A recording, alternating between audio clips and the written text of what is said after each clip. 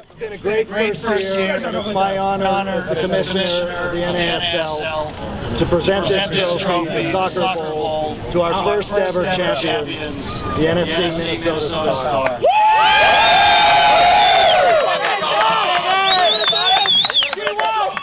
Danny, Jordan, Captain Altman, all of you guys truly defined the word team. It's been an amazing run through the playoffs. So So congratulations. congratulations, this is so well deserved. You're welcome.